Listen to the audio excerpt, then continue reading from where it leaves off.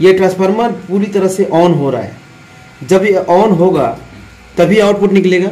और इधर से जो निकलता है वोल्टेज इधर से जो निकलता है वो डीसी होकर इधर बैटरी में जुड़ता है। पर यहाँ से जो निकलता है वो 12 वोल्ट रिले के लिए जाता है। तो अगर ट्रांसफार्मर कमज़ोर तरीके से ऑन होगा तो ये क्या होगा कि अ, 12 वोल्ट कम रहेगा।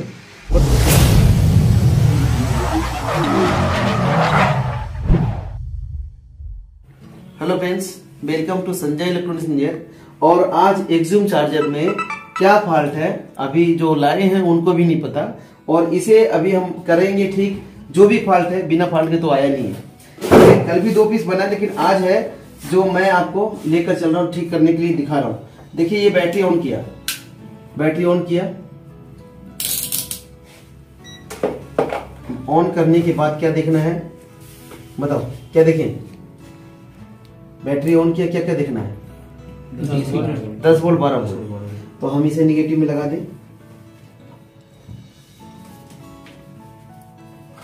ये देखिए ये दस वोल्ट है और ये बारह वोल्ट है।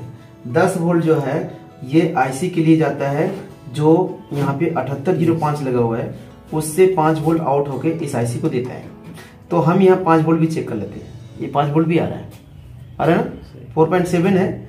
मतलब वो फोर पॉइंट नाइन है पाँच वोल्ट है। तो ये आईसी में वोल्टेज जा रहा है, बात खत्म। बारह वोल्ट जो है पैंतीस पे आईसी पे जाता है, पंद्रह नंबर और तेरह नंबर, ये दोनों पे जा रहा है। अरे बारह वोल्ट, दस वोल्ट का कोई फॉल्ट नहीं है। है ना? अच्छा अब आप मोसफेट चेक कर लेते।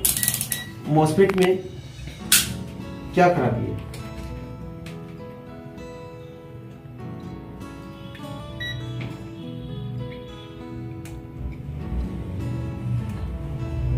मोसफेट एक तरफ़ तो सही दिखा रहा है ड्रेन टू सोर्स सही दिखा रहा है, और ड्रेन टू गेट ये भी सही है है ना? ड्रेन टू सोर्स सही है ड्रेन टू गेट सही है। मतलब चेकिंग के हिसाब से बिल्कुल सही है। अच्छा एसी आ रहा है, नहीं आ रहा मीटर से ही चेक कर लेते यहाँ एसी की तार एक है। एक है एक घंटी बज रही है। दूसरी तरफ़ एसी की तार, घंटी बज रही है। और दोनों कैपेसिटर पे शॉर्टिंग वोटिंग कुछ नहीं है। मतलब बिल्कुल सही है हम इसे चला के देख सकते हैं। तो चला के देख सकते हैं मतलब हमने चेक कर लिया। ये, ये डायोड को चेक कर लिया ठीक है मॉसफेट को चेक कर लिया ठीक है।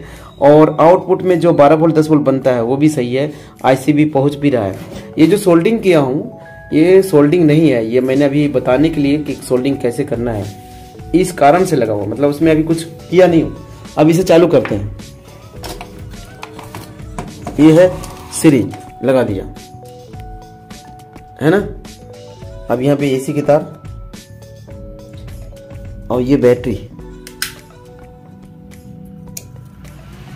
चालू भी हो गया लेकिन चालू स्टार्टिंग लिया, फिर हल्का डाउन हो गया। मतलब जो सीरीज़ बत्ती जलनी चाहिए थी, थोड़ी सी तेज जलनी चाहिए थी। वो थोड़ी कम जलनी। चलो मैं अब डायरेक्ट कर लेता हूँ।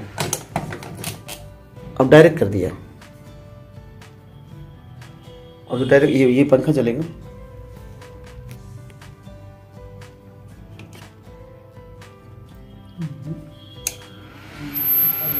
ये देखिए और यहाँ सीरीज़ की बत्ती जो है पंखा तो चल रहा है लेकिन एम्पियर नहीं उठा रहा है। मतलब एम्पियर जरा सा भी नहीं दिया। जबकि यहाँ पंखा चल रहा है और ये बत्ती जल रही है। आउटपुट? आउटपुट कितना निकल रहा है? सर आठ फुट। आठ फुट कितना निकल रहा है? तो ये देखिए हम निगेटिव लगा दिए। आउटपुट में कितना वोल्ट बन रहा है? ये देखिए, ये है पचास वोल्ट और ये है पचास वोल्ट मतलब ये रिले ऑन हो चुका है। रिले ऑन हो चुका है और आउटपुट में इसमें देख रहे हैं, बारह वोल्ट निकल रहा है। सो सीधी सी बात है, ये ट्रांसफार्मर पूरी तरह से ऑन हो रहा है। जब ये ऑन होगा, तभी आउटपुट निकलेगा। और इधर से जो निकलता है वोल्टेज इधर से जो निकलता है, वो डीसी होकर इधर बैटरी में जुड़ता है। पर यहाँ से जो निकलता है, वो 12 वोल्ट रिले के लिए जाता है। तो अगर ट्रांसफार्मर कमज़ोर तरीके से ऑन होगा तो ये क्या होगा कि बारह वोल्ट कम रहेगा। पर कमज़ोर नहीं है, ये देखिए। बारह वोल्ट पूरे। इसका मतलब क्या है कि ट्रांसफार्मर पूरी तरह से ऑन हो रहा है। तभी पंखा तेज भी चल रहा है। पर यहाँ पे फिर भी वोल्टेज नहीं है। और ये 50 वोल्ट है जो बैटरी का दिखा रहा है। मतलब यहाँ पे अभी हम कटिंग करेंगे ना तो क्या होगा कि इधर का साठ वोल्ट होगा और इधर का अड़तालीस वोल्ट होगा। और दोनों ज्वाइंट होने पे क्या हुआ कि ये डाउन कर दे रहा है। तो इसमें हंड्रेड परसेंट है कि ये डायोड खराब है। ठीक है? अगर ये इधर का फॉल्ट होता तो यहाँ पे 12 वोल्ट नहीं होता कम होता। ये खराब है। चलो हम उसको देख लेते हैं खराब है कि नहीं ठीक है? ये जो है, अभी ये जो डायोड है, अभी ये जो डायोड है, मैंने आपको ये लाइन काट दिया क्योंकि इसे हमें रिपेयर नहीं करना है। अभी हम इसे बता देंगे, खुद कर लेगा वो। ये देखिए डायोड ठीक है, ये ठीक है, लेकिन ये डायोड बिल्कुल ओपन है। तो इससे क्या हुआ इससे क्या हुआ कि इधर का जो वोल्टेज निकल रहा है, वो वोल्टेज अकेला पड़ रहा है, कमज़ोर पड़ रहा है, जो इधर वाला निकाल नहीं पा रहा है। तो हम इसके ऊपर एक डायोड तो ये सही है, इसको मैं जोड़ दूँगा और इसी के ऊपर से एक डायोड लगाएँगे। जब ये क्लियर हो जाएगा कि हाँ ये फॉल्ट यही था, फिर आपको हम देखते हैं, पहले करके देखते हैं। तो एक डायोड निकालो, चलो, एक डायोड निकालो। निकालो डायोड रिले रिले ऑन होगा ना ये 12 वोल्ट जो है ट्रांसफार्मर से तो निकल ही रहा सही से। ये इसलिए घूम के यहाँ पे आ जा रहा है जबकि तुमने यहाँ डायोड निकाल चुका है। तो फिर भी चल रहा है मगर वो लगा देगा। नहीं लगाएगा तो भी चलेगा। लेकिन क्या है कि वो लगाने से ये रिले का का ग्रेविटी बढ़ जाता है। हाँ बचाव हो जाएगा। ठीक है जल्दी निकालो एक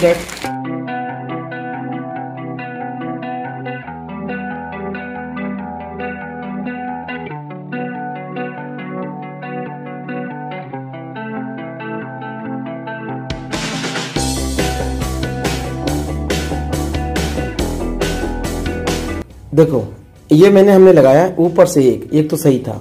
और जो मैंने कटिंग किया था, जो कटिंग किया था, वो जोड़ दिया।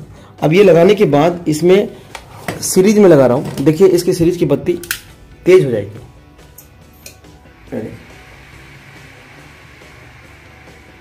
तेज हो गई। पंखा वो तो डाउन हो गया मतलब सीरीज़ में इसलिए। तो अब इसे डायरेक्ट लगाएँगे एक सेकंड के लिए, क्योंकि ये खुला है। एम्पियर दिखाऊँगा आपको, उसके बाद बंद करूँगा। मैं इस पर हाथ भी रख रहा हूँ कि ज़्यादा हो तो पहले बंद करना होगा। डायरेक्ट लगा दिया हूँ।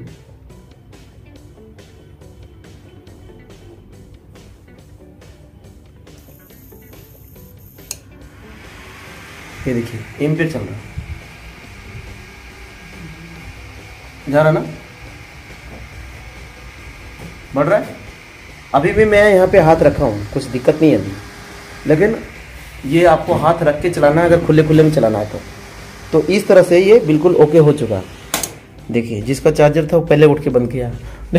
ठीक है? तो दोस्तों, इसी तरह से अगर रिपेयरिंग आपको सीखना है तो 100 परसेंट सीखने गारंटी है। आप आइए हमारे इंस्टीट्यूट में एस ई इंस्टीट्यूट दिल्ली में। 100 परसेंट सीखने की गारंटी है। इसी तरह से LED TV, inverter, building machine या e rickshaw motor controller, charger, किसी भी तरह का रिपेयरिंग हो 100 परसेंट हम रिपेयरिंग करके दिखाते हैं। ये प्रैक्टिकल चल रहा है, ये दुकान नहीं है। ऐसा नहीं कि मैं दुकान पे रिपेयर कर रहा हूँ। ये इंस्टीट्यूट में सबके सामने रिपेयर कर रहा हूँ, जो गाँव से लेकर आए चार्जर उस पे रिपेयरिंग है। ये छोटी छोटी बात जो है, कई बार क्या होता है, समझ में नहीं आती, लेकिन वो कोई बड़ी बात नहीं है। ये सब रिपेयरिंग बिल्कुल ओके होती है। और ये मैंने आपको ये सिर्फ़ ये डायोड लगाया है। अब मेरा काम है ये रिपेयर हो चुका, ये खुद बाबूजी करेंगे। ठीक है?